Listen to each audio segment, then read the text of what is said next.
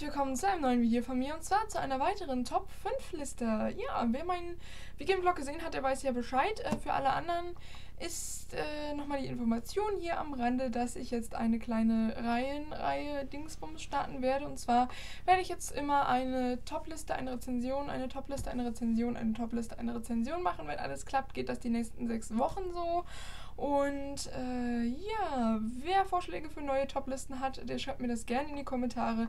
In der heutigen Top-Liste geht es um die fünf Top-Bücher auf meinem Sub, also die fünf Bücher, die ich von meinem Sub am allerliebsten äh, lesen würde, jetzt sofort. Ähm, wenn ich mir davon welche aussuchen müsste. Und äh, theoretisch ist es natürlich mindestens fünf von den Sebastian Fitzek Büchern, die ich habe, aber da das Video dann natürlich ziemlich eintönig geworden wäre, habe ich mir überlegt, dass ich die Sebastian Fitzek Bücher außen vor lasse und mir dafür alle anderen Bücher, die ich so habe, kralle und euch wie immer ein wenig dazu erzähle. Ja, ich wünsche euch viel Spaß. Das erste Buch, das ich ausgesucht habe, ist Phobia von Wolf Dorn. Ich habe ja keine Stelle von ihm schon hier gehabt. Ähm, das hatte mir meine Mutter irgendwann mal zum Geburtstag geschenkt. Ähm, hatte ich aber irgendwie nie angefangen, äh, weil, weiß ich nicht, konnte damit nicht so viel anfangen. Und dann habe ich irgendwann, ich glaube letztes Jahr, bei einem Weihnachtsgewinnspiel mitgemacht von der lieben Ivi und ähm, die hat dann ähm, meinen Wunsch erfüllt und mir Phobia und Mutterliebst geschenkt, obwohl Mutterliebst ich vielleicht hier auch mit drauf haben hätte können. Auf jeden Fall Phobia von Wolf Dawn wollte ich sehr gerne haben. Es geht ja um Angstzustände und um Angst und um Angst und Angst und ein Thriller, in dem es um Angst geht, speziell um Angst, Angst, Angst und Phobia, ne, ist klar. Das finde ich, ähm, wird bestimmt ziemlich, ziemlich cool. Und den will ich eigentlich schon die ganze Zeit lesen, aber irgendwie habe ich das noch nicht gemacht. Ich habe jetzt aber, ja, ne, mein TVA-Glas hier, wo, glaube ich, Phobia auch drin ist. Hoffentlich. Und dann äh, werde ich das bestimmt demnächst bald lesen. Ich kann euch nochmal vorlesen, was hinten drauf steht. Und ja, Phobia. Angst hat ein Zuhause. Der Wagen ihres Mannes in der Auffahrt, sein Schlüssel in der Haustür, seine Schritte auf dem Flur. Für Sarah Bright Bridgewater sind es vertraute Geräusche. Doch es ist mitten in der Nacht und der Mann auf dem Flur ist nicht Steven. Trotzdem behauptet der Fremde, ihr Mann zu sein, und er scheint alles über sie zu wissen. Sarah bleibt zunächst keine Wahl, als sich darauf einzulassen, denn nebenan schläft ihr sechsjähriger Sohn. Ein perfides Psychospiel mit menschlichen Urängsten und ein Wiedersehen mit Mark, noch so ein komischer Nachname aus Trigger. Dawn konzentriert sich auf das Wesentliche, verwendet keine einfache Sprache und verzichtet auf billige Elemente, sagt die Süddeutsche. Ja, und vielleicht sollte ich aber, bevor ich das Buch lese, noch Trigger lesen, damit ich weiß, wer mag. B-E-H-R-E-N-D-T ist. Auf jeden Fall ist das eines der Bücher, die ich sehr gerne lesen würde als nächstes, weil Psychothriller, und ihr wisst ja, das ist voll mein Ding. Werde ich bestimmt dieses Jahr im Winter slash Herbst machen. Dann das nächste Buch kennt ihr alle auch schon aus einem meiner ersten Videos. Ein Buch, das ich unbedingt gerne lesen würde, schon die ganze Zeit und ich bin immer noch nicht dazu gekommen. Und zwar ist es Wenn du stirbst, zieht dein ganzes Leben an dir vorbei, sagen sie, von Lauren Oliver. Wer mich schon von Anfang an verfolgt hat, der weiß, ich habe mich so sau über diese zwölf zwölf, es sind zwölf Worte auf dem Cover aufgeregt und äh, finde das Buch aber trotzdem cool. Die Idee finde ich cool und ähm, Lauren Oliver hat ja auch die Delirium-Reihe geschrieben. Ich kann euch nochmal schnell erzählen, worum es geht. Und zwar geht es um ein Mädchen, das ähm, eigentlich ein relativ perfektes Leben hat. Ich glaube, sie ist so ein bisschen eine ähm, modebewusste, ja, ich will jetzt nicht Tussi sagen, aber sie ist halt so ein bisschen, ne? Eine, eigentlich sehr beliebt, ein eigentlich sehr beliebtes Mädchen und ähm, ja, eines Tages fährt sie dann mal Auto, ähm, beziehungsweise ich glaube, sie fährt nicht Auto, aber sie fährt mit in einem Auto und der Fahrer ist betrunken, einer ihrer Freunde und sie fahren gegen einen Baum. Natürlich sind sie alle tot und normalerweise müssten sie auch tot sein und äh, keine Ahnung, man hätte jetzt aus dem Buch theoretisch aus dieser Geschichte auch was spannend spinnen können, wie zum Beispiel bei Blind Walk oder ähm, ein Thriller oder so. Aber nein, es ist eine Art ähm, täglich größtes Murmeltierbuch geworden. Und zwar ist es so, sie stirbt nicht und kommt nicht in irgendeinen Himmel oder ist einfach weg und ist tot oder so, sondern sie fängt nochmal an, den Tag von vorne zu erleben. Und zwar immer wieder.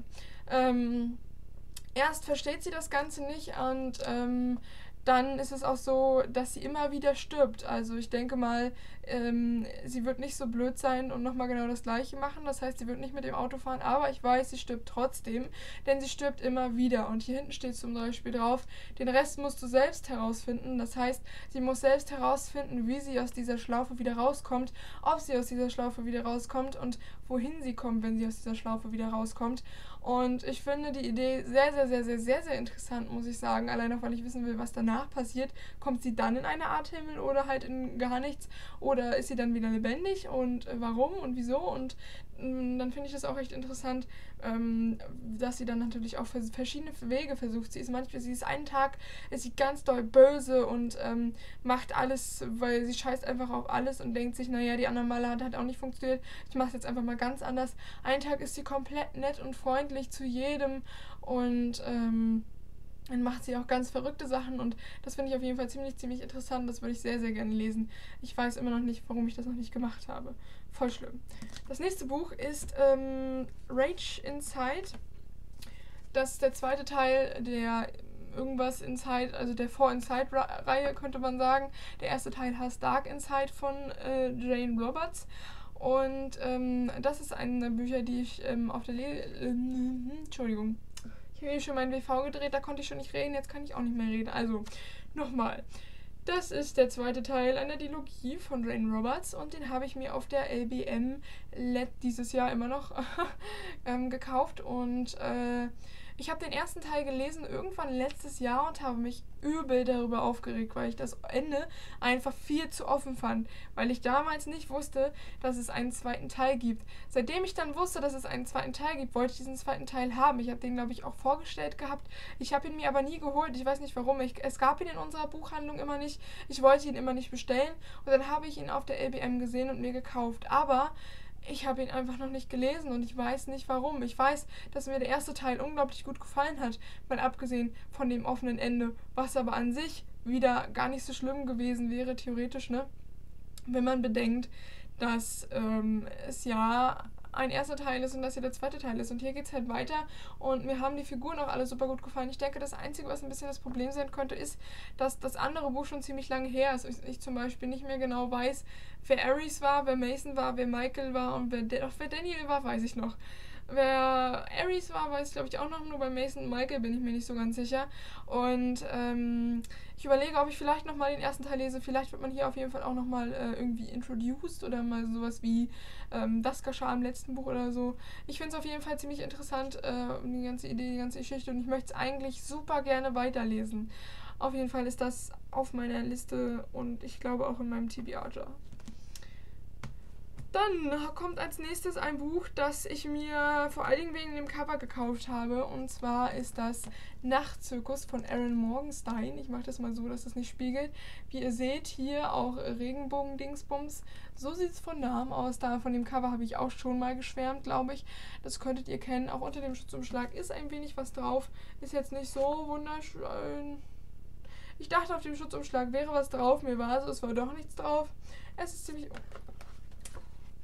Achso, das Buch ist falsch rum. Warum ist das Buch falsch rum? Ja, also es ist was drauf, aber man kann es vielleicht nicht so gut erkennen. Ich halte es mal irgendwie in die Sonne. Hier ist nochmal der Nachtzirkus drauf abgebildet ein wenig. Leider ohne Farben und nur reingestanzt, aber er ist trotzdem da. Und, äh, hä? Das heißt total falsch rum hier. Und ja, wie gesagt, ein fast komplett totaler Coverkauf. Ähm, aber auch der Inhalt hat mich interessiert. Und ich finde es auch ziemlich schade, dass ich das Buch bis jetzt noch nicht gelesen habe. Ich werde euch mal vorlesen, worum es geht.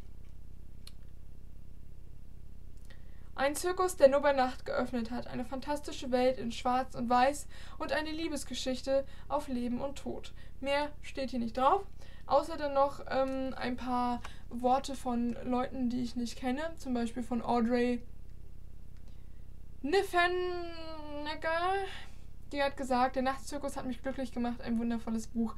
Die Publishers Weekly hat geschrieben, eine gigantische magische Geschichte, die dazu bestimmt ist, ein Bestseller zu werden. The Boston Globe hat gesagt, mit einem Wort eine Sensation. USA Today hat gesagt, eine Welt, die so fein und exquisit gestaltet ist und im Lesen den Wunsch weckt und im Leser den Wunsch weckt, alles stehen und liegen zu lassen, um sich dem Zirkus anzuschließen. Newsday hat gesagt, Aaron Morgensterns Debüt ist auf stille, betörende Art und Weise perfekt. Das L-Magazin hat gesagt, Aaron Morgensterns Zirkus ist der Stoff, aus dem Träume gemacht sind und nichts weniger als eine Achterbahnfahrt. Und die Autorin von Die Tigerfrau hat gesagt, ein fesselnder Roman. Der Nachtzirkus entführt uns in eine schillernde Welt, bis ins Kleinste ausgearbeitet und doch flirrend wie ein Traum. Hört sich wunder, wunderschön an. Und ähm, was ich noch ein bisschen aus meinem Gedächtnis sagen kann, ist, dass der Zirkus immer einfach auftaucht. Kurz zu einem Tag bevor der Zirkus auftaucht, sind überall in der Stadt ähm, Plakate verteilt, so damit jeder weiß, dass der Zirkus auftaucht. Der Zirkus bleibt aber auch nur einen einzigen Tag in dieser Stadt und er hat auch nur nachts geöffnet und danach verschwindet er wieder. Und ich fand die Idee irgendwie einfach sehr schön. Ich finde das Cover auch sehr schön und deswegen habe ich mir den Roman gekauft. Ich habe auch eine gute Rezension dazu gehört, glaube ich, und ich weiß nicht, warum ich das Buch noch nie angefangen habe.